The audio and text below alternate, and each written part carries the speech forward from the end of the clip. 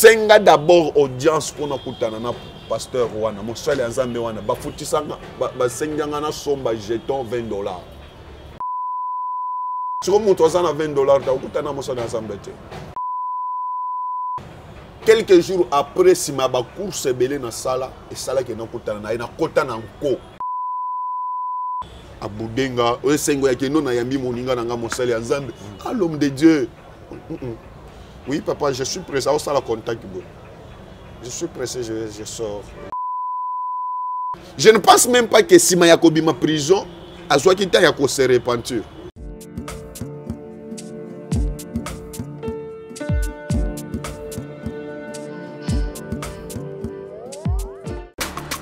e, e, e, e, e, e, mwana mama kobukana te yoka lisolo e mama jusnovitz ye nde coach ya loposo ya nzoto na bino aye na bakisi oyo ezotraite batampo banduta babokolo na ndenge na ndenge oyo epesaka mbindo mpe bosoto na kati ya nzoto na bino e lokola poche des yeux ride na elongi deisima oprofite na kashe ne okoma kobomba elongi okoma koyokela nzoto na yo soni kobukana te luka kaka mama gisnovite okozonga lekeleke mwete mwete gu mama na ngai ye babi mama gisnovite azoswane nyonso etali loposo ya nzoto na bino yo moto obetela batampo esalaki ezambe te esilaka te elongi enzuluka ekoma lokola moto batumbe na depo makala yaka mpo toyebi dokter aza kaka moko coach aza kaka moko kozwa ye eza nango facile aza mpe na facebook whatsapp basite nyonso ya internet soki olingi ozwa baproduit na ye livraison nango eza partout dans le monde tobeta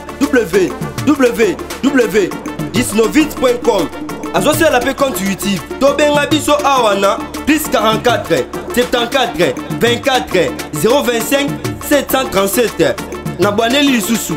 plus 44 74 24 025 737 balapa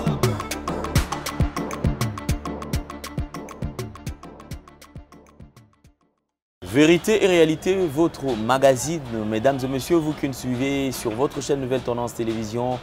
bienvenue à ce tout nouveau numéro. Comme d'habitude, bonjour, bonsoir, tout dépend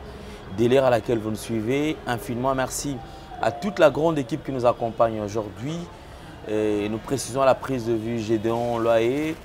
euh, la réalisation est assurée par Jordan Pins. Vous savez que cette équipe que nous allons travailler. Nous traversons déjà le mois de décembre.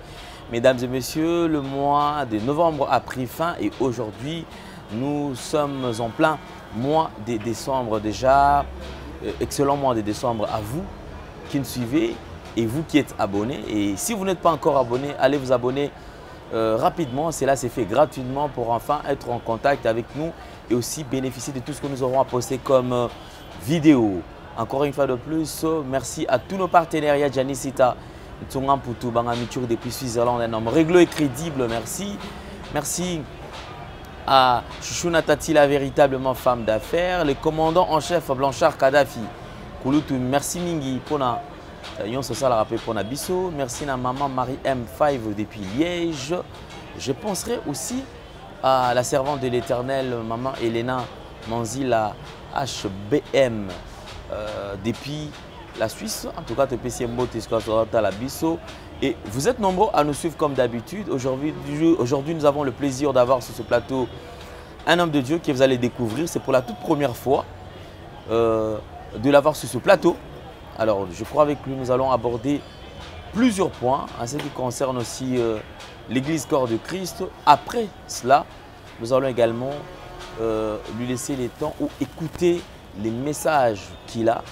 euh, pour les enfants de Dieu. Et ces derniers temps, c'est vrai que nous traversons une période très très difficile.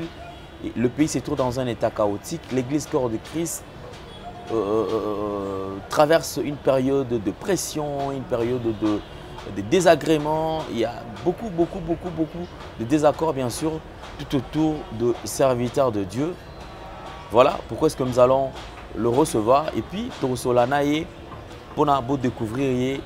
ici sur votre chaîne Nouvelle Tendance Télévision.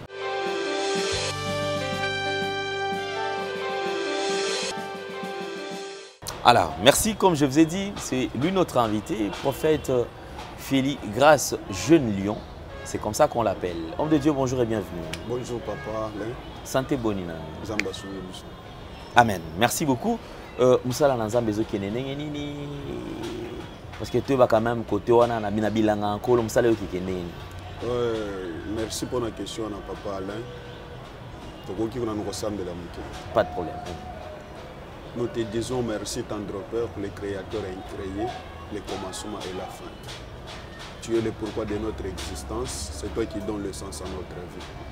Merci de nous avoir donné ce temps de pouvoir parler de ta part, car il est écrit dans les Saintes Écritures, c'est pour que par le Saint-Esprit que les hommes ont parlé de la part du Seigneur. Aide-nous dans ce plateau. Bénis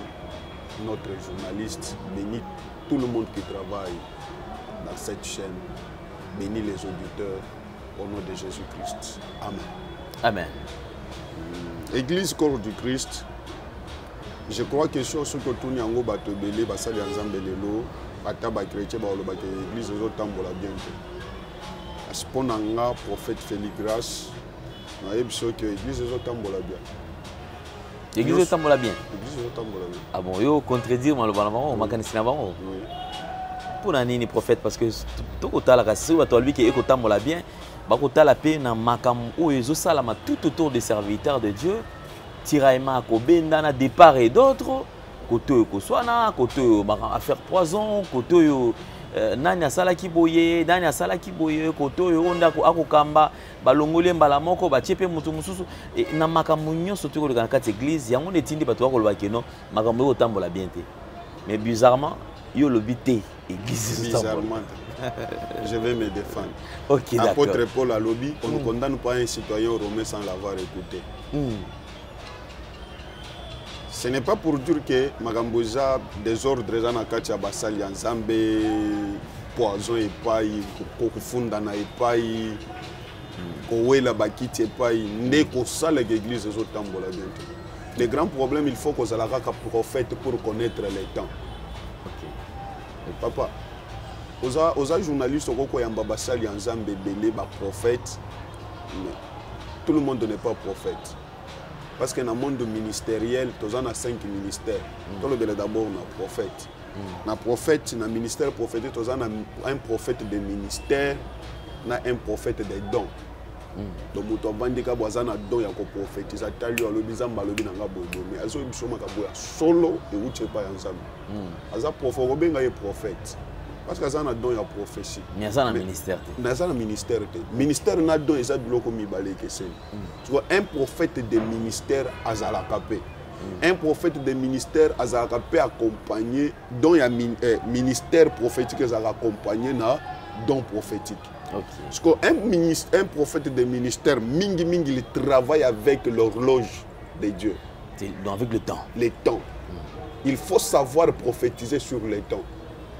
un prophète de ministère soki opesi ye verset de bible ya bible akoteya yango ndenge apôtre ateyi te akoteya yango ndenge pasteur ateyi te ndenge évangéliste non ya kokota d'abord na prophétie biblique parce que verset nyonso ya bible ezalaka na esprit nango donc fana sur la révélation ya... il faut papa sans doute okay. verset nyonso ya bible eza na esprit nango donc si tu es un prédicateur tu dois d'abord chercher à connaître l'esprit ya, ya verset wana okay. soki oteyi bible kaka bongo okoboma église kutu apôtre paul aprophétise alobi non prophète esaïe mm. aprophétise alobi allons à la loi et au témoignage mm. si on ne parle pas ainsi il n'y aura pas l'aurore pour les peuples mm. donc tobanda d'abord na mobeko et puis tosilisa na témoignage or mobeko eza loi mm. loi ebomaka mm. loi ecrucifiaka loi ekondanaka siko témoignage c'est la grâce mm. un vrai prédicateur il faut abanda d'abord na écriture après écriture et révélation parce que écriture ebomaka siko un prophète mpo osala yango il faut ozala prophète il faut ozala samson oyo akoki kokende na zamba akutani na lion abomi lion abimisi miele na kati ya lion apesi yango bato bazwi vie lion abomaka mais ye na kati ya lion abomaka abimisi miel apesi bato bazwi vi il faut ozala prophète or lion wana c'est l'écriture et miel ebimi na kati ya lion c'est la grâce la grâce vient de l'écriture la grâce vient de la loi s'il n'y a pas la loi il n'y a pas la grâce mm.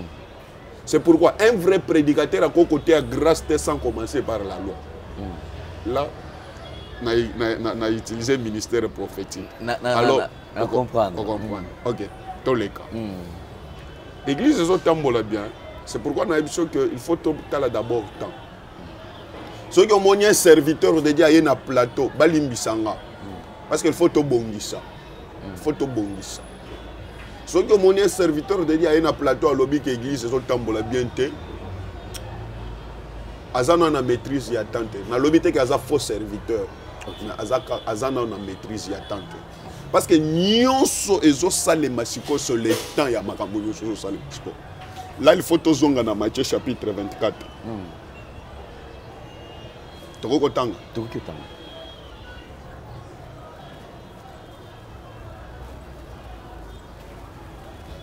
Matthieu chapitre 24.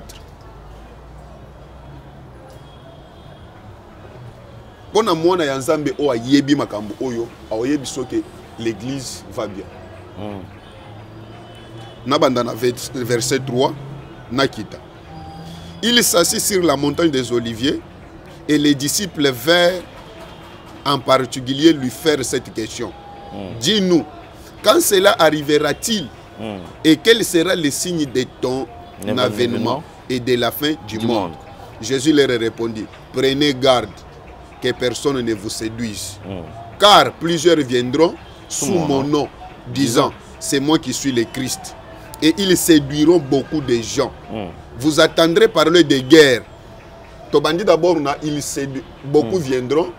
à mon nom mm. balobi ke baza ba Christ ils séduiront ils séduiront après mm. d'abord bakoya mm. tobanda d'abord d'abord bakoya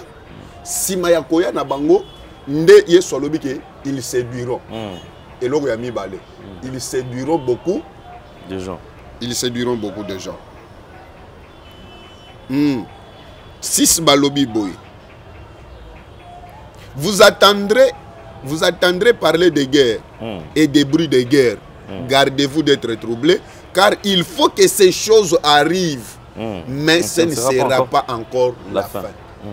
il faut makelele ya à la un vrai serviteur moi je parle comme un prophète Hmm. Un vrai serviteur de Dieu akoki kosalisa prière te ke tosambela bitumba esila na mboka. Ata bosambeleli osila te. Tosambela mpo na est bitumba esila na est. Ekosila te. soki osambeli mpo na bitumba esila na est osilisa mpe na russie osilisa mpe na israel na irak na états-unis opekisa états-unis na chine baswana te babunda te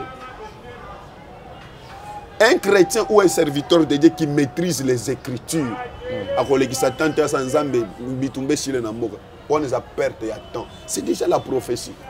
yesu alobi il faut que ces choses a il faut hmm. ah, il faut c'est obligatoire une obligation hmm. il faut celui qui parle n'est pas un prophète ou un pasteur ou un président de la république pas au moins un roi non celui qui parle c'est le créateur du ciel et de la terre dieu lui-même dieu lui-même qui parle sikoyo yo okosambela mpo ochange yango bitumba esila na mboka nani tika ezala c'est la prophétie biblique ezomema biso keleke part hmm. wapi na fin du monde hmm. na enlèvement yesu alobi ke avant enlèvement esalema fin du monde esa nga nazonga il faut biloko oyo ekokisama esekokisama soki yo okoyebisa ngai ke mboka ezotambola bien te église ezotambola bien te to continue Gardez-vous d'être troublé car il faut que ces choses arrivent, mais ça ne sera point la fin du monde. Une nation se lèvera contre une nation. Hmm. Rwanda lelo, basoda ya, ya soki Tanzanie, soki ya Zambie, baye na Congo. Hmm. Eh,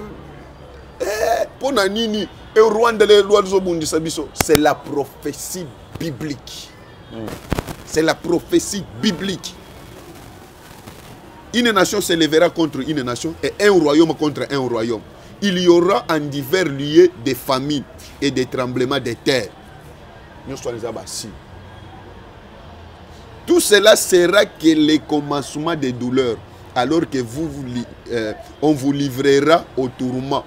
et l'on vous fera mourir et vous serez haïs de toutes les nations à cause de mon nom. Alors aussi plusieurs succomberont et ils se trahiront, se haïr les uns les autres. Plusieurs faux prophètes s'élèveront. C'est ce que moi je cherchais. Oh.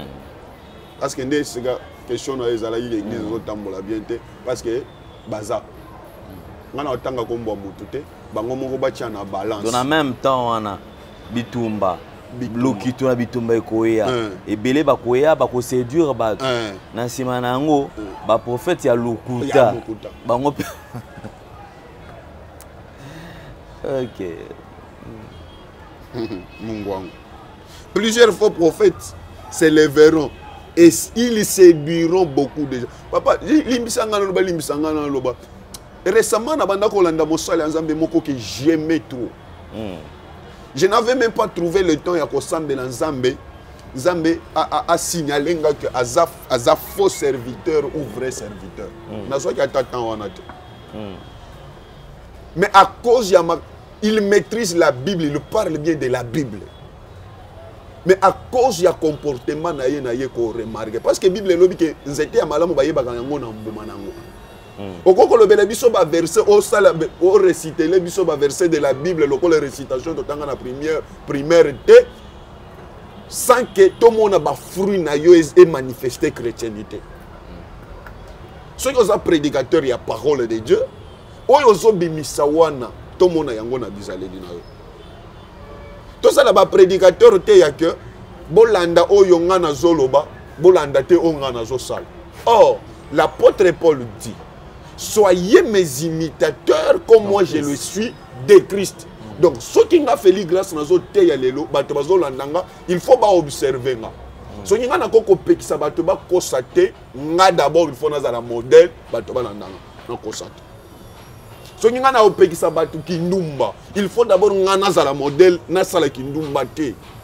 parce qu'il faut bato wana bazala modèle c'est biblique comment yo serviteur de dieu donc tokoki kolinga yo parce que ozo récite baverse ya bible oyebi yango lokola okangi yango na machine na motu mais libanda nango comportement na yo eza bien te que dieu me pardonne parce que je l'aimais trop et nazalaki na spirituel na nga na bapaster akambaka na collège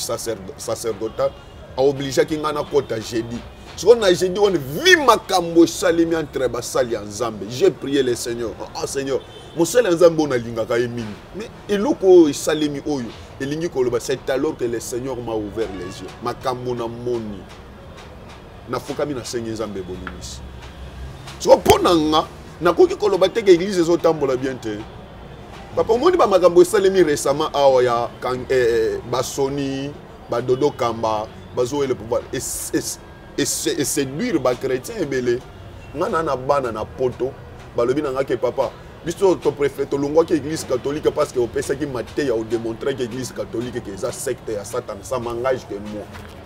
soki eke kolukela bino bato ya chaîne problème mes numéros sont là baluka nde ngai c'est moi le prophète qui parle mm. église catholique j'avais je l'avais bien dû et je le répète eza église te eza secte satanique eza na bato ebele babima na église catholique bakoti na église de réveil mais du ya babétise oyo euti koleka récemment bato ebele balobi papa mie mfo tozonga na biso ata na catholique makambo na catholique ezalaka te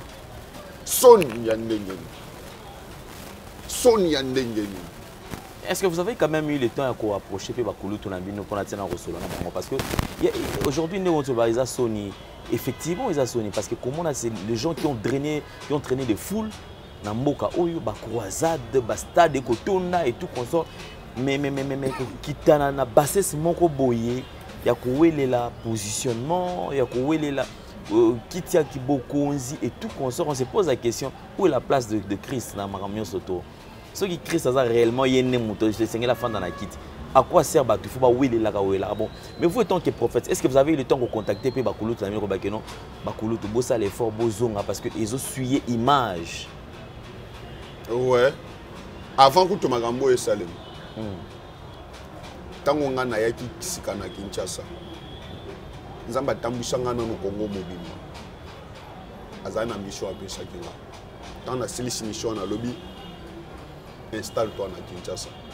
nzambe atindanga nasala mpo na sentiment te oyebi eloko esalaki ebaboma jean baptiste ezalaki prophesie apesaki te eloko basalaki ebaboma jean baptiste baka te moto ezalaki juste parce que azangaki intelligence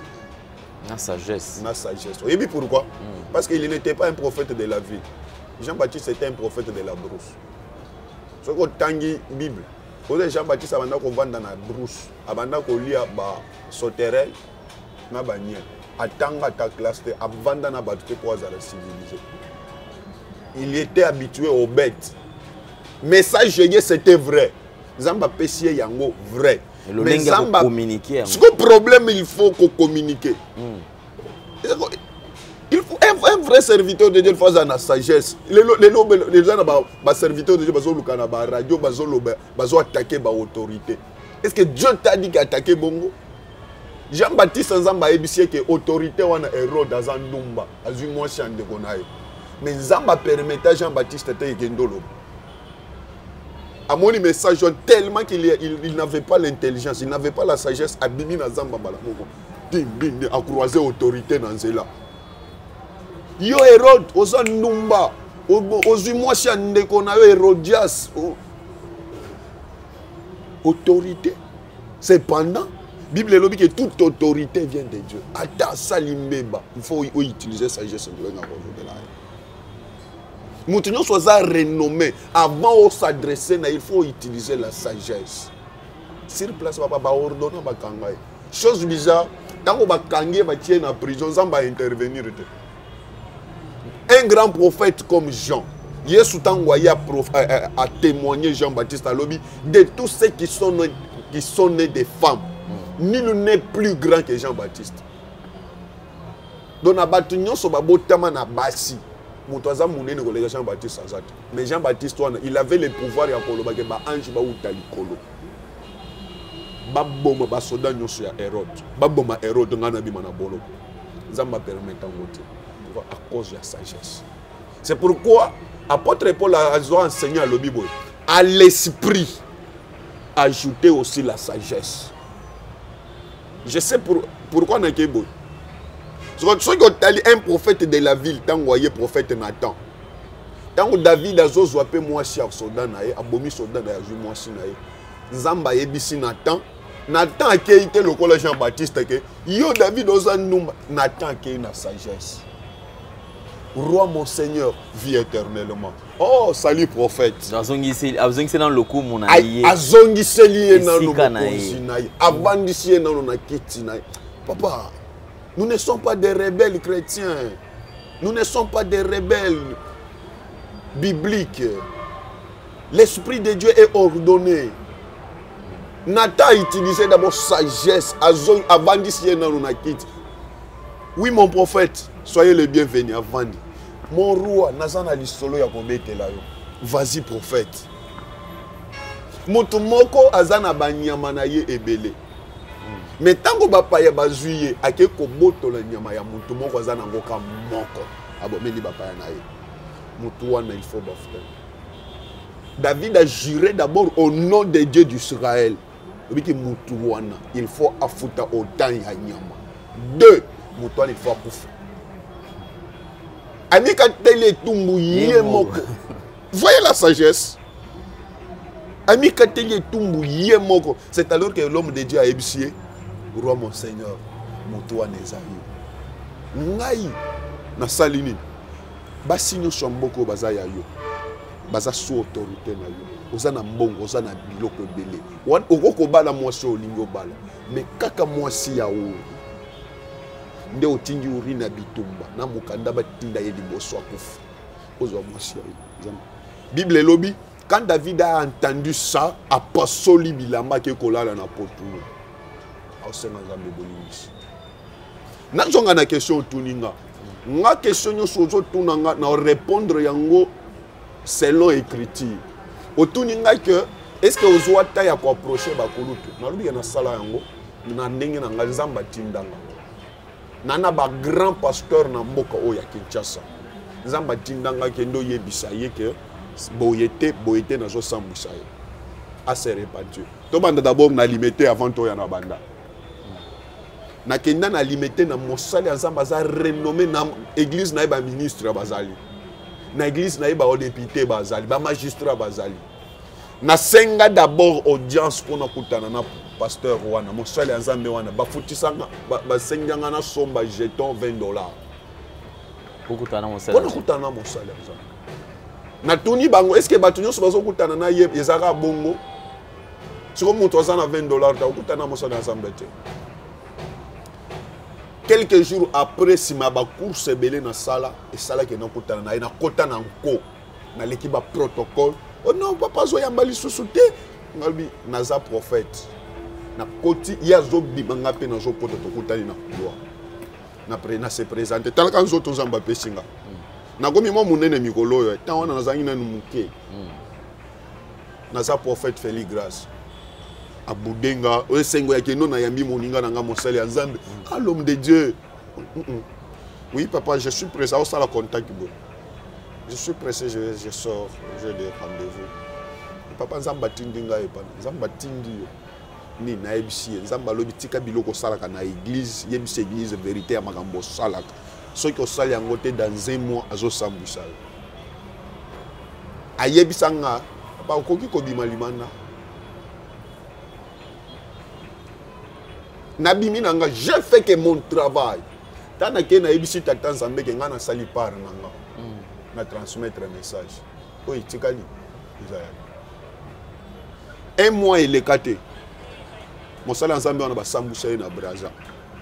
bakanga ye na braza bahumilia ye je ne pense même pas ke nsima ya kobima prison azwaki ntan ya kose repentir je ne pense même pas moi j'ai ya rencontré bavie bavie mpenza na mwa sagesse ya moke nzambe apesi nga vie eloko ozosala boye yo teyaki biso boye mokolo moko boye na conférence moko boye na eloko ezosalema boye bayokaka te ye tellement aza deja na mituka aza deja na mbongo ya monika akomi likolo ya nyonso okoki koyoka conseil ya motu mosusu te or oh, na mboka na biso balobaka ke mokolo mpe abinaka soki mwana moke azobetama na biblia balobi na proverbe moto ayokaka conseil te akendaka mosika te hmm. lokola bazopesa biso tan te tokutana na bango toyebisa bango fo koloba na media bino nde bozoyede biso toloba na media eza nango makambo ya ke baoyo bazosala bakontinue kosala yango soki otangi apocalypse chapitre 22 bible elobi oyo azosala lisumu akontinue na kosala lisumu na yeakoba kosala malamuakofuta maselo akoya eglise ezotambola bien makasi parceke na babiloko nyonso oyebisi nga oyo ke bana ya nzambe baza ya kobunga parceke biloko te un vrai chrétien oyo ayebi verset totangi na yo oyo ya matie 24 akolenda ntango otali yango omoni hmm, yesu azozonga kala te il faut na milenge église ezotambola malamu soki moto akocontredire nga hmm. akobenga yo soki débat bakoya tokosala débat mais débat wana ezala ya libanda ya bible te hmm. ah. débat wana koyela nga na bapense humaine philosophie humaine te soki okoya contredire eloko nasali nalobi oyo yaka yelanga bible to débattre selon horloge biblique merci beaucoup prophète avant napesa yo deuxième partie napesa maloba mpo na deuxième partie une question mpo na tokota na deuxième partie lecture nini okosala na kotala mboka ndenge ezotambola actuellement yo oza prophète soki ofandi etant prophète obandi kotala makambo motu eleka na kati ya mboka okutani na bandimi batuni yo papa nzambe azolikanisa nzambe eza nini mpo na mboka oyo okoyebisa bango eza kutu na kati ya message na suka ya message nauti koloba awa ke nzambe okay. apesi message okay. na suka nango mpo okay. nabima esika bamemaki nga wana mm. esika lipata wana ememaki nga nzambe alobelaki nga likambo ya mboka ah ok seke tokanga parenthèse wana tozo puisque ekozala deja na kati ya message na, na récupérer question nanga parce que nakotika obongo te na, na récupérer quand même question nanga lokola wana déjà eza inclus na kati ya, ya message lelo foi ya bato ebele ekomi kokita ekomi kotenga est ce que un serviteur de dieu liboso ya bana na nzambe avant mwana nzambe abénéficie na grâce oyo nzambe atye kati na yo il faut afuta offrande du prophète il faut afuta consultation prophétique il faut badroit ezala parce que ah, tout à l'heure otuko évoqué eloko mo basengi yo keno jeton 20 dollars parce que tozonga yo oza mosali na nzambe lelo moto aa na kati ya badifficulté ana parceke ntango aye kokutana na yo il faut nanu avant azwa solution il faut banano mpo akopesa mbongo Wow! Une bonne question. Je vous trouve très intelli inté inté inté intelligent. Merci. Une bonne question. Mm. C'est pourquoi na ebisio awa ke nyonso na ko répondre yo. Mm. Naza chrétien, naza prédicateur ya Bible. Mm. Faut na répondre yo conformément na Bible. bible eza constitution na biso hmm. ka ndenge ozomona lelo bacongolais bazosala marche parce que bakonzi bazoviole constitution de même ke bachrétien ya solo il faut basala marche soki baviole constitution ya bible soki bamemi eloko moko ya bible eza te libanda ya bible il faut bato sikoyo basali yango na nkombo ya nzambe faut totambola tosala marche papa na koorganize makambo na kinshasa awa dieu m'a déjà permis ya kosala eloko moko na kinshasa awa tosala yango na kinshasa topesi message na bachaîne ya télévision na baradio ntina baprovince esalemi le seigneur m'a dit c'est ce jour là ke akotombola nga ntina liboso ya bakonzi ya mboka vous serez d'abord nos partenaires ya liboso na mosala wana tokosala kokutana na mosali ya nzambe ilfo moto afuta nano offrande soki omoni bato bazosala yango lelo eza mabe te eza bien sikoyo eza kaka lolenge bazoutilize yango bakomi koutilize yango kokata na prix nauti koloba awa hmm. batekelanga balinga batekelanga jeton 20 dollar atire yango na bible me na bible bakata te ke kaka eloko boye soki na bible eza na eloko nyonso mpo okutana na mosali ya nzambe okokende pamba te wana ilfaut botanga 1 samuel wana ilfaut botanga 1 samuel chapitre je vais vérifier ça na deuxième partie na oloba yango saul abungisi banyama ya papa na bango papa na bango ayebisi ye kende oluka yango ba anes na mwana mosala baluki trois jours bamoni yango te saul ayebisi mwana mosala ke tozonga parce que heure oyo papa na ngai azoluka lisusu ba anes te azoluka nga mwana na ye mwana mosala alobi ne je connais ton père tokoki kozonga boye te sa ba anes tozonga nanu te na mboka oyo tozali profete azali nyonso alobaka ekokisamaka tokende tokutana na ye saul alobi tokoki kokende bongo te eza permis te kokutana na mosali ya nzambe maboko pamba nzambe alingi yango te naza na eloko ya kokende na yango te tokokende pa profete te nde mwana mosala ayebisi saulu ke non Saoul, ata yo oza na eloko te, moi j'ai quelques pièces d'argent awa. Mm. Tokende na opesa yango prophète, akoyebisa biso esika ba anes ezali. Ah, oza na mbongo, ça va toke. etango bakomi epai ya prophète nzoka nzambe apresedaki bango deja epai ya prophète donc wana makambo mosusu etali nga te wana eza esika ya question na normalement un chrétien qui se respecte mpo aya kokutana na ngai faut abongisa offrande na ye eza offrande d'onction c'est dans la bible parce que toza na temps te ya kotanga koko tozwa temps ya bele parce que oyebisi nga minute tokosala c'est dans la bible saul alobi ke c'est interdit kokutana na mosali ya nzambe sans eloko ya kopesa ye c'est pourquoi ozomona général na mane ya basurien oyo azalaki na lepre ntango bazoyebisa ye ke ilfaut akende epai ya profete na samarie abongisi baoffrande abongisi banyama abongisi argent abongisi or akende mpo na nini azokende komona un prophète mpo abikisa ye na maladi c'est pourquoi ozomona na matie bamage wana misato bazowuta orient lokola bazokende kokutana na grand prophète oyo moïse aprophétisaki alobi le seigneur l'éternel vous donnera un autre prophète plus que moi ntango bamage bacomprendre ke étoile na ye emonani déjà bazokende kokutana babongisi or mou nani à 100 bakoki kokende komona profete maboko pamba te c'est pourquoi eza na bato mosusu bakoki koya epa mosali ya nzambe asambeli kaka pona pona asambeli pona yo boye okei eloko esali emonani te soko kaka meme mosali ya nzambe wana asambeli pona moto mosusu abiki azwi mosala aboti mais mpo nini asambeli mpo na yo mona te il faut d'abord savoir considérer l'onction d'un homme de dieu sikoyo mabe eza kaka ndenge baninga bazosalela yango bandeko bazo ekomi ke okati na prix noi onction oza nango wana eza ya yo te eza ya tata nzambe motobakoyebisa bayebisa oke donc vous avez reçu gratuitement vous devez se donner gratuitement voilà yango nde nalobi ke depuis bayamba ngai epa bajournaliste namona journaliste intelligent te ok qu'est ce que nous avons reçu gratuitement ce que nous allons donner gratuitement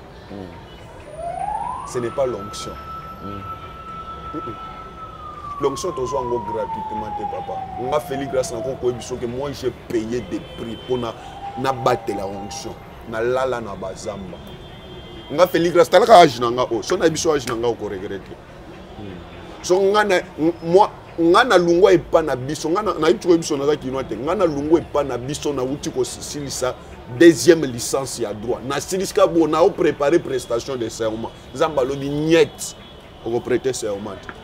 nazotinda yo tinda nga wapi nga de nature naza motu ya kanda nga azalaka otie na tie de nature nga alinga betise te balobi dabord naza nano moto ya bafaiblesse naza moto ya kanda otinda nga na servir yo nga wapi ere wana aza juste intercesseur na église nzambe alobi nazotinda yo ozotinda nga wapi nzambe alobi naotinda yo na est ya congo talaka moto awuti kosilisa azwi diplôme na ye ya licence epuis ntango naza, naza assistant ya, proki, ya auditeur supérieur na lubumbashi naza assistant ya auditeur supérieur a facilite ngaki so na silisi na prete serment mbala moko nzambe aboyi moni sacrifice na sali alobi na ngai ke soki oboyi okobuka na makolo nyonso okotambola te vi na yo mobimba okoteya evangile makolo ya kobuka soit okei soit oboyi j'accepte nakenda epuis apekisa nga ke kokende na elamba ya kochange te ka ndenge oza wana nalamuka na to bima kende na are sala bosala bo biye eza epa motu dieu met témoin na oloba yango dieu met témoin nakoma na aéroport nakuti moto azozela ngai eza feli feli na nkombo na ngai ya mboka ntangi yango oui batindi ngai na biye oyo napesa epa nani te batindi ngai kaka na biye oyo napesa nakenda na est je fais ça na est ngai nalala na bazamba eza basacrifice tosala papa tozwi yango pamba te tozwi yango pamba te mhm. qu'est ce que nous avons reçu gratuitement c'est la parole de dieu omoni tozosolola na yo je suis en train de prêcher moto nyonso kolanda abone na yo nyonso akolanda yango gratuitement akopesa nga offrande te est ce que akofutanga akofutanga te moko nde akoki kozwa mpona ah prophète oyo alobi bien aza na eloko nzambe ah na soutenir ye mais baoyo nyonso baabone na yo soki 70 combien de millions ya, ya baabone wana bafuta parole de dieu yango wana baolanda yango pamba mais onction nde onction papa bafutela bible elobi partager tout est bien hmm. avec moto oyo azoteya yo onction wana droit d'onction nde bafutelaka yango papa parole de dieu eza nango gratuit mais précision ya montant wana nde précis ko préciser te eza ya yo te apesa selon volonté volonté na ye oyo nzambe ayebisi ye asala mpo na yo sala yango wana eza mpo na cadre ya onction otuni nga na question na yo olobi ke ceke mpo na moto abika il faut futa sacrifice eza na maladi mosusu papa alain akoki kobela abengi prophète feli grace nasambeli mpo na yo obiki mbala moko eza na maladi mosusu na ye boye nzambe alobi no maladi wana eza ya molimo ya molili sala boye sala boye sala boye sala boye soki basi bakangi yo na monde ya satana soit occultiste moko boye akangi yo akomisi yo sacrifice na ye ndoki moko boye akangi yo par exemple nalobi teke ndoki akokanga yo oza protégé na nkombo na yesu bakomisi yo sacrifice mhm. batie yo déjà na hotel na bango ke bazoboma yo mhm. siko soki nga avec le saint esprit toye mpo tolongola yo tokolongola yo pamba te pourquoi parce que oza déjà sacrifice sacrifice baremplasaka yango kaka na sacrifice mosusu temoin aza na bible na obimisali bino ata de temoin na bible moto oyo bakanga na mondo ya satana maladi aza nango wana eza ya bandoki ya satana moto batye parceke na nzoto oyo eza na maladi mosusu eza normal nzoto ekoki kotravaille elembi obeli fokende hôpital batraite yo facilement toyei tosambeli nzambe arestore yo obiki mais eza na maladi mosusu eza na baproblème mosusu okozwa yo ya, ya, ya normal te ya bademon bandoki baoccultiste nde baimpose yo yango siko baproblème neti wana mpo to récupere yo lokola oza déjà sacrifice na hôtel sacrifice wana il faut tolongola yango to remplace sacrifice mosusu c'est pourquoi nzambe okoki koyoka nzambe alobi yebisa ye apesa ofrande ya boye asala ofrande ya boye preuve tozonga na bible tokende nano na ancien testament epuis tokozonga na nouveau testament abraham nzambe ayebisi ye zwa isak wana azala sacrifice bomela ngai ye azwi mwana akei na ye na montagne akangi ye basinga mpo na isak abraham azalaki ndoki ndoki ya vie na ye alingi aboma mwana na ye mpo na abraham isaka akoki kobenga papa ndoki papa ya motema mabe alingi aboma nga mwana na ye aza deja sacrifice oui bakangi singa bakangi singa batie na hotel ntango azozwa mbeli atomboli mpo aboma pa nzambe alobi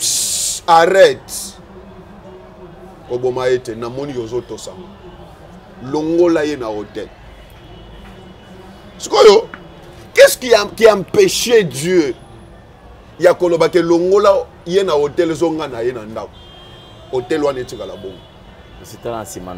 nzambe alobi tala nsima na yo belie aza wana zwa belie wana boma ye aremplace Isaac pourquoi na monde sacerdotal bapasteur ebele bayebi yango te parce que question otuni nga oyo bandimi wana batunaka bino bakestion wana bazweli yango epa bapasteur oyo baza na maîtrise ya sacerdoce te baza na maîtrise te c'est pourquoi ngai naloba soki oyebi eloko ata bino bajournaliste soki oza na maîtrise ya likambo te koloba yango te luka ozala na maîtrise ya eloko olingi oloba okokotisa ignorance na mutu ya bandimi yo prédicateur pamba obomi obomi bana ya nzambe na libungu regarde un peu dieu créateur lui-même c'est que soki hotel basi batongi yango etikalaka pamba te soki basi batongi hotel fo makila etanga wana ezali na silisa hmm. okomi kokatanga te loba wana tosisi na ancien testament na osilisa na nouveau testament wana eza témoin ya ancien testament mm. nzambe ayebi ke soki abraham alongoli isaka akei na ye bongo hotel wana ekoboma na ndako ya abraham en desordre parce que hotel ereklamaka c'est pourquoi ozomona nzambe azoyebisa gedeon ke mpo odelivre famille na bino kende nano epa papa na yo détruire hotel ya bale eza wana soki odétruire yango te bitumba ozokende wana olonga yango te mpo odétruire yango offrande je donc akei apesi ofrande abomi ngombe alambeli nzambe apesi nzambe nzambe atali yango bible elobi juge chapitre 6 bible elobi nzambe azwi lingenda abalusi misuni wana abalusi atali yango ayebisi je donc oyo te oyo eza yo opesi ofrande selon volonté na yo me ngai nzambe naosenga sikoyo yango nga jeune garçon nasalaka te navandi na ndako ya bapapa na nga papa na nga aza mobola famille na biso eza ya babola oyo naza nango napesi yo yo nzambe okoki koyokela nga mawa te okoki kondima yango te olobi eza moke eza mabe o nzambe nini oyo soki prophète asali yango lelo bosalela ye émission bofingi ye mais dieu l'a fait nzambe ayebisi je donc malgré bobola na yo malgré mpasi ya famille na yo naboyi yango zonga na ndako ya papa na yo ngombe wana eza ya yo te eza ya papa na bino me ngai nayebi so kende ozwela nga zwela nga ngombe ya 7 ans zwa mosusu ya 7 ans yaka na ngombe mibale ah! nyonso wana mpo ani mpo azwa délivrance mpo jedon azwa délivrance ya famille na ye ya mboka pays na ye afuta sacrifice aye na yango abomi nzambe alobi aboma yango sala hotel wana sima ya kodétruire hotel ya bala eh. hotel wana elinga etikala vide te ilfaut batya sacrifice mhm. atongi hotel abomi de ngombe asopi makila wana atumbi yango ntango moto epeli milinga ezomata likolo biblia elobi ke nzambe akoti na kati ya milinga wana azongi na lola nzambe ayebaki ke hotel wana ekoki koboma na ndako ya abrahama en desordre do mpo na épargne famille ya abraham il faut nga nazongisa belie makila ya belie wana eremplace makila c'est pourquoi na monde sacerdotal sacrifice baremplasaka yango kaka na soki moto azobela maladi ya mbasu maladi ya mbasu eutaka epa nzambe eza ya bato ya mitema mabe ya bato ya kisi babwakeli moto mpo abiki il faut asala sacrifice aremplace esika elokolo na ye wana balongola lokolo na ye esika babombi yango baremplace sacrifice wana tozonga na to, mpo nasilisa na nouveau testament nzambe aperdre mokili bato nyonso satana azwi mokili en otage akontrole mokili masumu eleki moto aza kondane moto ekelamo ya nzambe nzambe asali moto mpo azala adorateur na ye mais satana corrompre ye akomi sacrifice ya satana soko ya korekipere mokili ya korekipere bato oyo baza deja na hotel ya satana bazodependre na satana dieu apaye le prix oyebi prix ye nzambe afuta yesu nzambe afuta yesu asakrifia yesu na hotel mpo arécupere biso nzambe tata aza souverain akokaki mpe kosauve biso pamba ayebi satana ke ale mokili na ngai na récupere yango ale bato baza bato na ngai na récupere bango nzambe ayebi loi ya sacrificature nzambe lokola baza déjà sacrifice ya satana kozwa bango bongo te mpo nazwa bango il faut na sacrifie C'est pourquoi Bible lobi ya mika ba meka. Amika ba sacrifier pour nous racheter. C'est ça monde sacerdotal papa. Biloko il faut to lobela ka yango to longo l'ignorance ba faux pasteur ba kotisi na mitu ya bana nzambe. So yo moto lobi oyebisi bango que ba pesa offrande te ba, ba ezaka ya pamba. Kasi bikisa bango ti. Pona noza na bango na église na yo babikaka te. osambelaka mpo na bango bazwaka solution te poani merci beaucoup merci beaucoup prophète Félix Grasse donc euh, merci beaucoup je crois que nous avançons mesdames et messieurs nous allons passer encore à une étape assez importante parce que nous avons besoin ya koyoka lisusu nini oyo nzambe akoloba na biso et moto na moto akozwa part na ye alors merci infiniment na bino nyonso tout je toujours demandé à ce que si tu te retrouves apprends à soutenir aussi l'œuvre de dieu soki omoni ke osepeli omoni ke en tout cas je suis béni yekola mpe kosoutenir serviteur de dieu je toujours dit que c'est une chaîne commerciale bato nde balekaka ah bafuta alors yo ozofanda soki mpe omoni ke otutisami osoutenir ofuteli ata 2 3 4 émission olobi eloko ya bien zela nga naza molobi limbisa nga hmm. nga devant le micro je parle ah, okay. moi je suis prédicateur hmm. olobi ke yesala ya pamba ti ntango hmm. nga na ye na awa balobi recevez eh, vous avez reçu gratuitement donné aussi gratuitement ntango nazoteya awa moto aoyoka nga wana aoyoka pamba ti aoyoka connaissance wana pamba ti loba nzambe pamba ti mais nga mpo nalekisa yango ndenge naleki bo je paye la parole de dieu est gratuite mais l'évangélisation n'est pas gratuite. Pour évangéliser, il faut l'argent. Là, vous avez raison. Merci beaucoup. Alors, prophète Félix, grâce, vous avez la parole. Nous passons à la deuxième partie. Message Oyo, Olba Kidja depuis Kalam.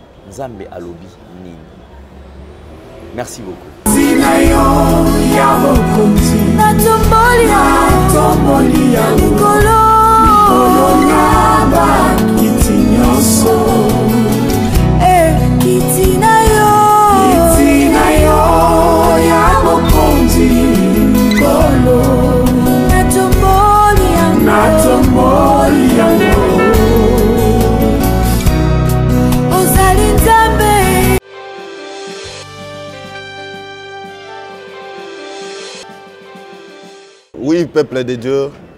et un prophète Félix Gracieux, jeune lion, il y a cité missionnaire Arche de l'Éternel. Dans un message Oyo, na lingi na pesa, on zamba obligé ngana pesa. Ngana yip saka batuka na zamo tindami, na zamo na musala ya tata nzambe. message oyo ntango nazwi yango eza mbala liboso te nzambe amema nga na surnaturel baoyo bayebi jeune lion bayebi eza mbala liboso te mais oyo namoni tour oyo ekamwisi nga ebangisi nga depuis samedi ti lelo nazovanda nzoto ezosala nga bachaire de poule nazomituna estce mokolo wana nakokende ou bien nakotikala c'était samedi tozalaki na retraite depuis jeudi papa na biso akambaka papa na ngai ya molimo akambaka structure moko ya baserviteur babengi yango eh, sacerdotal union sacerdotale aobligeaki biso bana na ye tokɔta na bapasteur ebele ya baeglize ebele oyo papa na biso akambaka tokoti jeudi na butu tobimi samedi na ntongo bien aimé vendredi na butu ntango nakomi église na lungu epai na ngai nazongi église na butu nazalaka na nat na nga na dra na nga na oreye na nga ntango nakomi bapasteur bayaki ebele baninga ya dadi na biso bazalaki nde dadi aoblige nga ke nazwa nat na nga napesa moninga na ye bishop alala na nat na nga parce ke ye azalaki na eloko ya kolala te akoki kolala na kiti te ngai nalala na nat nazwi oreye na nga nazwi na na ngai na soki ngai nayebisi dadi comme ça ngai nakolala na kati ya église te lokola eh, eh, voiture na ngai eza libanda nakokende kolala na voiture libanda dadi alobi wi lala ata na voiture mpo se protéger frère na biso moko président ya bamusicien alandi nga tolali na ye na voiture na nga ngai nalali na siège na nga ye alali na siège ya nani au milieu de la nuit nayoki chaleur makasi na voiture nasituki navandi sikoyo naoyoka présence ya eloko moko ya eh, eloko moko ya ndenge mosusu eza normal te nayoki présence ya eloko mosusu ntango nayoki présence wana nayoki suki na ngai etelemi nayoki nzoto esali ngai bacheur de poule natie motu boye na volant na bandi ko interceder ntango nazo interceder nazoyoka lokola mopepe ezoya mopepe ezoya ewuti ewuti mipanzi te ma ewuti likolo ntango natomboli miso natala na likolo ke namona nini ezoya nazomona eloko te me namoni ka libanda r wana courant ezalaki te tozali na problème ya courant me namoni libanda autour ya voiture lumière makasi je me suis dit ça va na fongola na mona ke oyo ezani courant eye na charger téléphone ou bien ezani na fongoli portière na bimi mouvement ya kofongola portière wana moi je pensais que frère patrick aozala wana akofongoli portière na bimi na kuti pole moko eza lokola projecteur babeti yango boye na molili ya makasi projecteur eye ndenge eyaka lumière ekendaka wana sikoyo yango eye boye te ma euti likolo lumière wana mpo ntango nazotala namoni eloko ezoya lokola lipata ya pembe lipata ezoya na lumière wana ezoya ntango lipata eye nayoki mpenza lokola moto azoloba nakomi koloba en langue lipata wana eye ekotisi nga na kati ya lipata namimoni mpenza ke naza lisusu na mabele te lipata wana emeli nga ebandi kotombola nga ntango ezotombola nga nakei nakei ti sikoyo nayoki na lipata nayoki bayebisi nga feli grace feli grace le seigneur a besoin de toi il a une émission à te donner nous allons lui rejoindre tozokende kokutana na le seigneur nkolo azoluka yo aza na mission akopesa yo tozokende kokutana na ye na lipata wana bazo mai nazomona motu azolobela nga te bien aimé surnaturel ezalaka yo moto ondimaka te na présence santu ya nzambe je t'assure ke ezalaka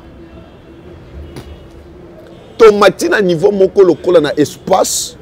ntango tokomi na espace wana tokomi lokola na monde mosusu soki tomoni eh, eh ma espace ya ndenge mabele ezalaka boye ndenge totambolaka na mabele sikoyo espace wana na lokola monde mosusu nde lipata wana etelemi namoni porte efongwami na lipata wana porte na yango efongwami bayebisi ngai kebima sikoyo esali lokola omoni moto ozobima na mai ozokita na bato ale omatisa lokolo na, na mokili natie lokolo natie lisusu lokolo nde namoni bato mibale baye baange mibale baye moko atelemi koto oyo mosusu atelemi koto baye bazwi ngai balobi na ngai le seigneur nous a envoyé te recevoir ntango tozokende wana ce n'était pas moi et c'était surnaturel ntango tozokende namoni toleki d'abord na pavillon wana porte mosusu efongwami tokoti na pavillon mosusu bien aimé namoni nano espace ya bongo te namoni espace monene meme espace wana eza lokola pembe pembe partout soko na espace wana nakuti baange baange multitude e multitude ya baange omoni lokola basoda batiaka parade omoni baoyo batelemi boye bamosusu batelemi boye bamosusu batelemi kuna baoyo batelemi koye Commandant na donc lokola bongo ba, ba, ba ange batelemi bongo basali bagroupe na bagroupe mais batie milongo ba ange c'était beau admirable ya kokoka te okokokanga ata photo c'était beau et admirable c'était beau c'était beau vraiment ba ange namoni groupe mosusu ya ba ange na ba trompette bamisusu kuna na basembale ba na maboko bamisusu kuna na baarme na moni ba ange sikoyo na nzela toza na couloir tozalaki wana couloir wana ekei ka boye tout droit na suka nango mosika mpenza ndenge tomonaka omoni lola na suka kuna na mboka lola esali neti ekiti boye sikoyo na suka couloir wana ekei bongo namoni trone nkolo avandi na trone bato batelemi baange batelemi mopanzi na ye aobi na biso ba ange nazali na bango mibale c'est le père mais esika père azali tokokoma te balobi na ngai wana eza tata donc nzambe tata esika azali tokokoma te yo oza na mission na yo quelque part tokei ti tokomi quelque part couloir mosusu ekoti tokoti wana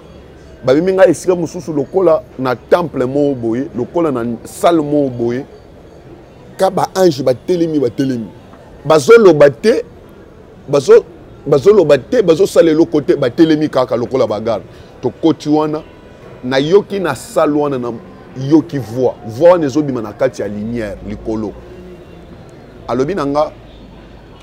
nayebi ke oza na mituna ebele ya kotuna mpo na makambo oyo ozomona tuna nga mituna nazo répondre yo avant natinda yo esika ozokende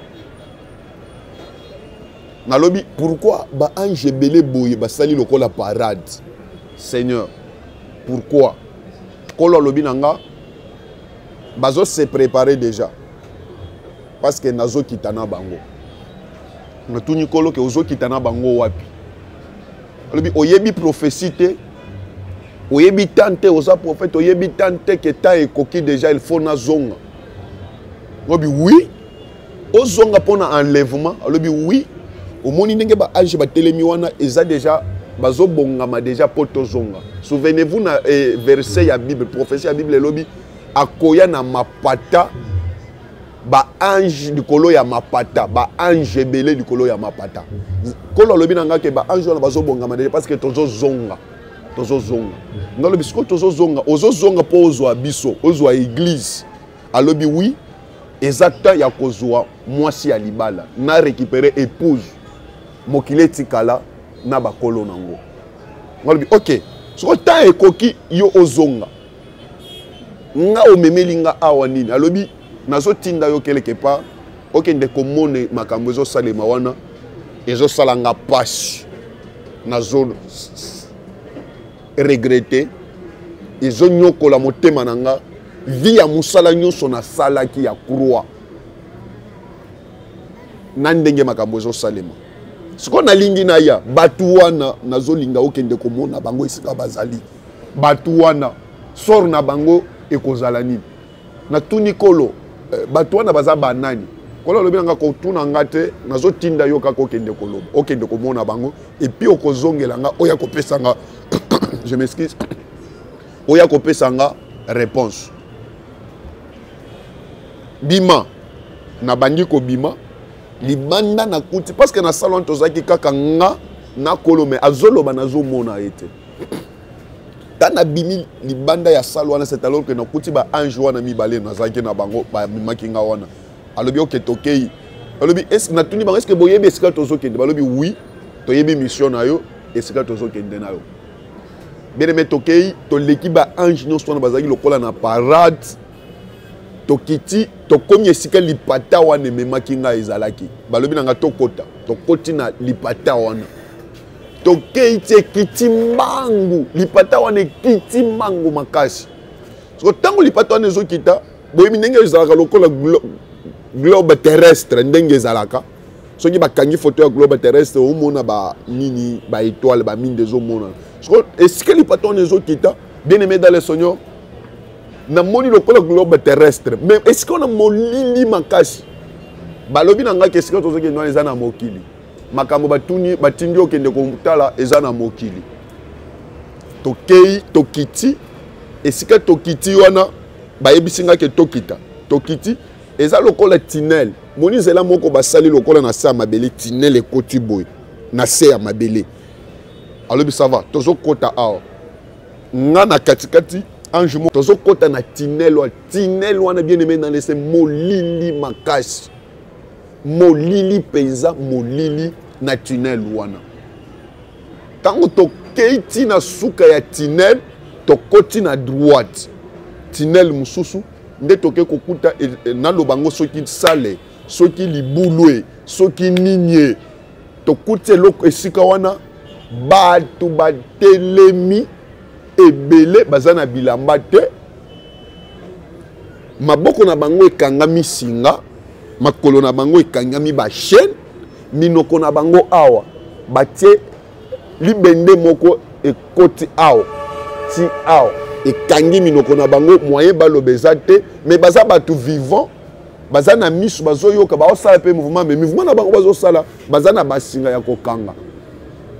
natuni baange nazalaki na bango nalobi mais bato oyo baza ya kokangama boye baza nini bazoyebisa nga ke kolo ayebisi yo kuna ke bato azozela bato wana sikoyo ye azozonga sikoyo bato wana solo na bango ngai lobi bato oyo baza banani bayebisi ngai bato oyo bateka baame na bango epai ya satana basala déjà alliance pacte du sang na satana une fois ke moto asali pacte du sang na satana tala ndenge akomaka bango wana ndenge ba na mokili na bino bakozala bazotambola baza mpe bachrétien bakendaka eglise mais bateka baame na bango epai ya satana ngalobi wi nayebi motu soki ateki ama epai ya satana il faut akota loge asimba kisi asigne bacontrat moko boye ateki ame na ye epai ya satana les anges les deux anges mont dit obino wana nde yo oyebi mais koteka ame epai ya satana o oh, bato oyo eza classe ya liboso eza bongo te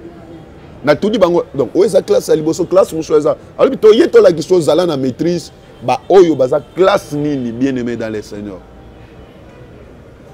ezosala nga mpasi na motema tokozalaka na eglise tozoteya bopambwama bokozala ya kokangwama bozoloba amene me milimo na bino eza ya kokangama quelque part milimo na bino eza en otage epai ya satan sikoyo le seigneur bien aimé je vous jure le seigneur est en route il vient j'ai vu ça namoni baange baza déjà rassemble mpo akita na bango baoyo baza na trompette biprofesseur lobi au son de la trompette le ciel va s'ouvrir lola ekofango mwana ya moto akokita le seigneur vient déjà mais eza na bato nkolo azo regrete atindi ngai naloba message oyo tu peux pas ça t'engage que toi parfois okofinga ndenge bomesana okofinga basali ya nzambe hmm. coup de chapeau parfois ondima coup de chapeau mais moi je suis qu'un simple messager je dis ce que je vis et ce que le seigneur m'a ordonné de faire ce que le seigneur m'a ordonné de dire c'est ce que je dis nkolo aza na nzela toza deja na suka ya ntango toza deja na suka toza deja na suka enlèvement ezosalema kala te bazoyebisa nga ke oboni bato oyo basinya bateka milimo na bango epai ya satana ndenge nini topusani mpenza avec ces deux anges natuni bango eske ndenge tozotambola boye bato nyonso bazomona biso te balobi no bazomona biso te topusani esika bato wana batelemaki mabende ekangi bango boye maboko chaine makolo chaine topusani ange wana asimbi loboko ya bato maboko ya bato balakisi nga likolo ya maboko ya bato boye mo ndenge tozobaka montre oyo eza chaîne ekangi nga siko balongoli bachaîne ange alakisi nga likolo ya maboko namoni banzoloko incision incision nzoloko oyo bakataka wana balakisi ngai na mapeka ya bato wana nzoloko balakisi ngai likolo ya makolo nzoloko balakisi ngai na mikongo ange wana azolakisa ngai na mikongo ya bato wana nzoloko soko ange atuni nga oyebi ntango moto akendaka bakata ye nzoloko makila wana ebimaka wana ezala epai ya nganga ezala epai ya mama moboye apesaka kisi eh, kisi moko boye makila wana ekendaka wapi ntango makila wana ebimaka ame ya moto ezalaka na kati ya makila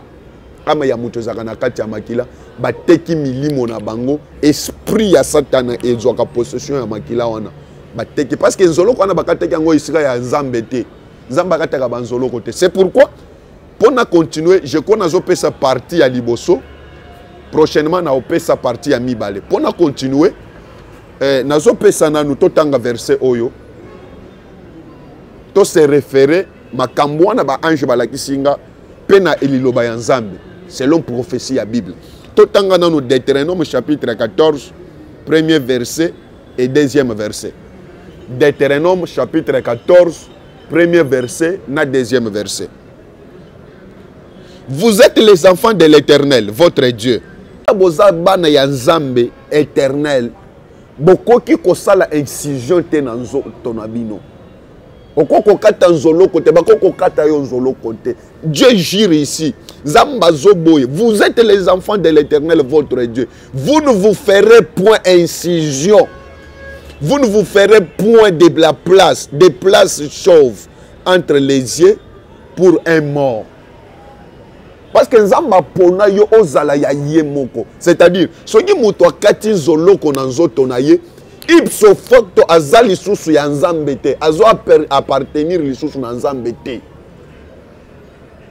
bato nyonso bakata nzolo ezala bakata yo na bomwana oyeba te obela maladi moko ya lipe eh, li, eh, soki nini ratre soki na lingala ezalaka ezalaka lipeka soki lipeka soki libe ndenge bolobaka na lingala lipeka li, epeka soki li bazoyebisa ngai epai ya cameraman kuna soki maladi wana obela yango na bomwana mama na bino amema bino bake kokata yo nzoloko yebake bateka ame na yo epai ya satana ata ozotambola ozokende eglize nkolo alakisi nga ke bato wana batelemi singa ekangi bango libende ekoti bango awa ebimeli awa c'est-à-dire ekanga monoko ekoki koloba te ekoki kose repentir te spirituellement yo okoki komona ozosambela me monoko na yo eza ya kokanga souvenez-vous bible ezoloba ke matoi ya nzambe ezalaka ya kozipana na losambo ya bato mabe sa yo okoki koloba ozosambela me nzambe ayokaka te monoko na yo eza ya kokanga ozala na kimokolo obela maladi moko boye okei bakende kosoigne yo bakata yo banzoloko makila wana kaka mokolo makila wana ebima kolo alobi na ngai ke bato nyonso bakatama nzoloko bazo appartenir déjà na mais bango wana bakendaka église soko ngai nazoya bango baza kuna na libulu na chambre wana ya molili esika bakangi bango basi soko naosala na bango ndenge nini nazolela nakata wana parce que bazoyebisa nga ke na chute na continue prochainement tobimi na nini wana naloba esika kategori ya mibale esika bakotisi nga misusu na kokontinue tokoya tokozonga lisusu na parti mosusu ya message oyo tolungwe na bango wana toleki lisusu tokomi esika mosusu lokola chambre nayebi te soki nakoloba sale soki nakoloba libulue soki nakoloba yango tunnel espace moko lisusu molili makasi au moins makambo ezosalema wana tozomona ntango tokoti nde esika esali nga kobanga ya makasi esali nga kobanga ya makasi nini namoni namoni mutu moko lokola mwana mwasi avandi na kiti na mutu na ye eza suki na ye plutôt suki na ye eza suki ndenge suki ya basi ezalaka te lokola suki ya bato ezalaka te suki na ye eza mitu ya nyoka mitu ya nyoka soki na ye eza mitu ya nyoka avandi na kiti siko oyo emonani siko oyo na ye ekeyi mpenza mikila ebele e, e, e, naloba ngo nini mungu wangu seigneur aide moi mikili epanzani na espace wana mikila ebele oyo evandi me makolo na ye eza makolo te eza mikila mikila, mikila wana ka ndenge mitu ya nyoka soki na ye eza mitu ya nyoka avandi mpenza na kitu wana me oyo ekei mikila ebele na, na espace wana sale wana sikoyo bato baza wana ebele mitakala namoni bato wana baza lokola nzoto parti nzoto kiteni nzoto kiteni nzoto donc baparti parti eh, na nzoto naza na image moko nazwi naoya nango na deuxième émission ntango naozonga na deuxième partie naolakisa baimage ya ndenge bato wana bazali natuni bato wana baza banani baange balobi na ngai ke oyo eza kategori ya mibale ya bato oyo bateki baame epai ya satana yo ozolobake bato batekaka ame epai ya satana ka na loge non ata moto akoti na loge te akoki koteka ame epai ya satana mwana mwasi ti ozomona aza demon versas aza versas omoni bato nyonso baza tala na se omona mikila wana namoni mikila na bango wana mikila na ye wana mokila wana ekangi moto kobanda makolo ti nani moto atelemi kaka boye mais miso oyo omona lokola vert au lokola eo lisu rouge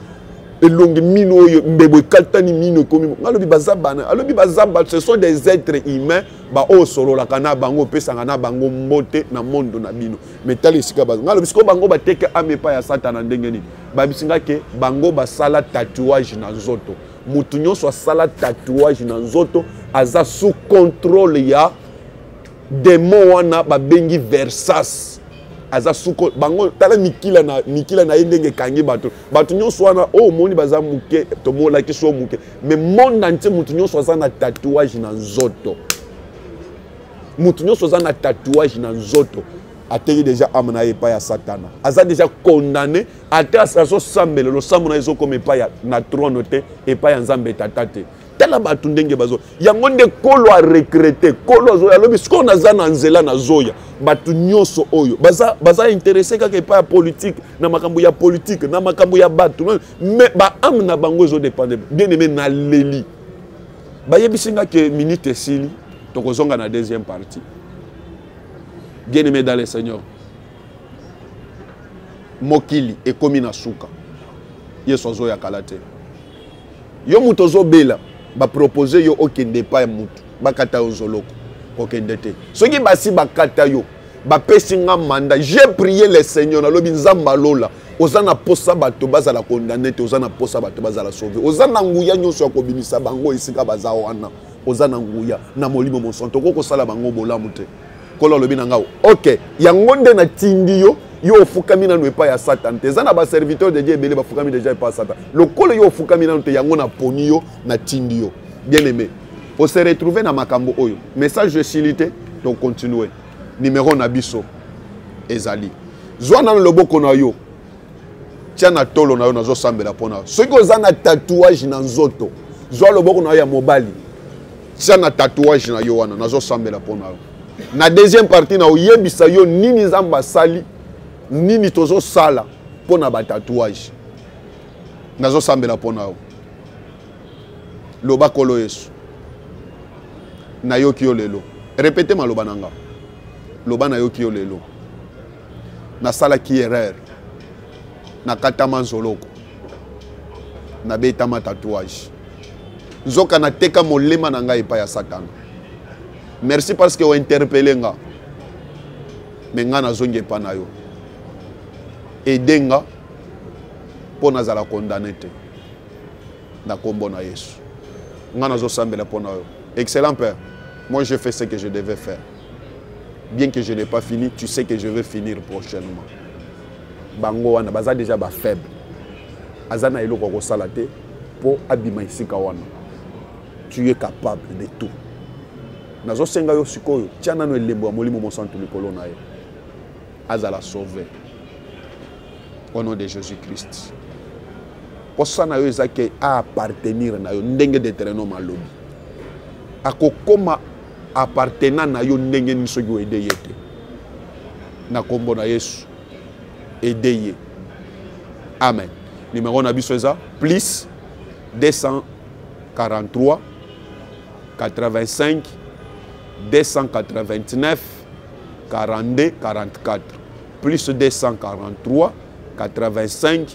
289 42 44 eza numéro ya prophète Félix Grace les jeunes lions oza na o se retrouver na makambo olingi to aider biso to aider yo benga biso eza numéro ya WhatsApp to ko aider yo ba afficher yango na écran wana que le Seigneur vous bénisse prochainement